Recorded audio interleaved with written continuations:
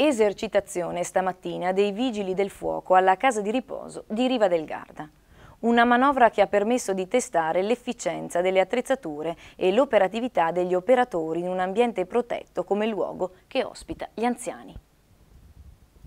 Esercitazione oggi al, alla casa di riposo di Riva del Garda, cos'è successo?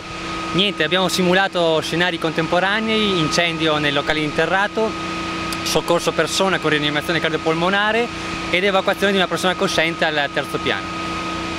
Un'esercitazione propedeutica a un'eventuale emergenza?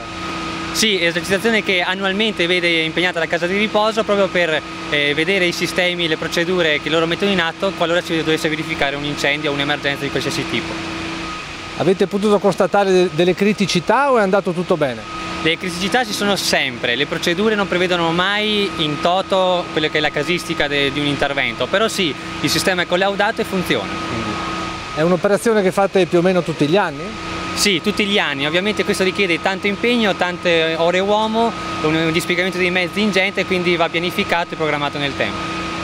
Quante persone avete mobilitato oggi? Circa 15 vigili del fuoco con tre mezzi di cui due pesanti più il personale della casa di riposo.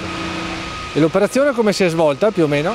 Si è svolta che il caposquadra si è messo subito in contatto con il ehm, responsabile della sicurezza, una figura che esiste proprio preposta, che accoglie i pompieri quando arrivano e spiega loro la, la situazione, la struttura e l'indirizzo da, da dove c'è necessità.